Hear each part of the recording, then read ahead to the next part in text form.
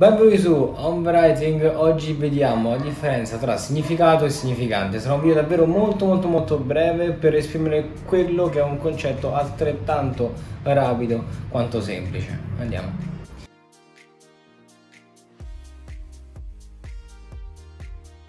Molto spesso quando si sente la parola significante significato si storce il naso perché si fa confusione, non tanto per il significato quanto per il significante. Qual è la differenza?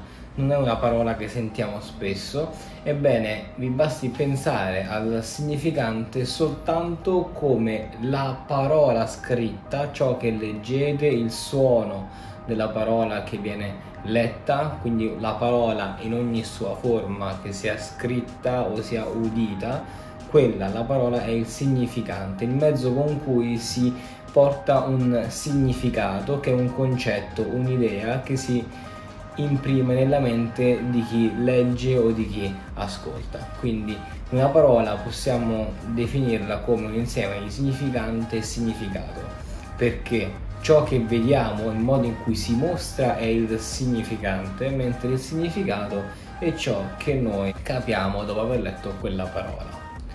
Possiamo fare milioni di esempi prendendo milioni di parole come riferimento. Cane, ad esempio.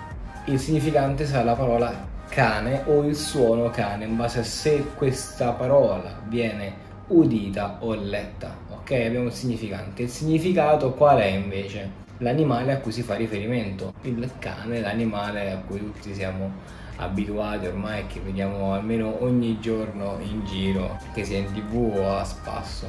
Quindi nulla di più semplice, davvero qualcosa di facilissimo e rapidissimo. Che dirvi? Ci vediamo al prossimo contenuto, per qualsiasi cosa potete commentare, io sono sempre disponibile, vi lascio una storia delle mie referenze e lasciate un like e iscrivetevi al canale se vi fa piacere. Grazie ancora, ci vediamo un prossimo video.